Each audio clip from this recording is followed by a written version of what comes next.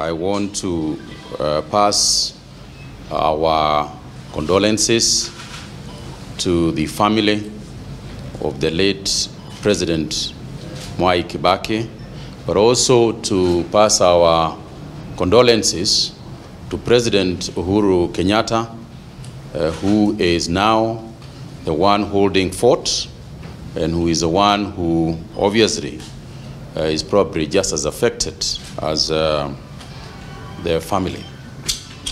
Um, I also want to state that um, we will be passing, we will be posting on the web ministry website uh, the condolence and the message from all of us. I, am speaking on behalf of all of you. But also, uh, we are going to post a series of things that uh, President Kibaki uh, did while he was the Minister for Health be, during the period that, um, uh, that sits on our, on our reception here.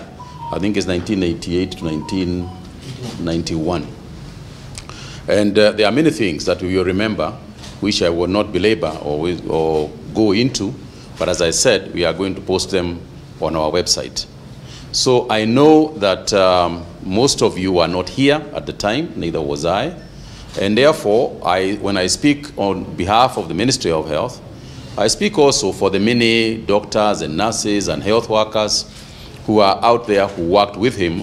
Some of them retired, but I'm sure they all remember him in um, uh, fondly. They remember him fondly for the things that he has done, not just uh, generally in the other ministries, but in this particular day, the reason why we called everybody here is also to remember what he did for the health state of our nation. And on behalf of all of you, I just want to once again reiterate our condolences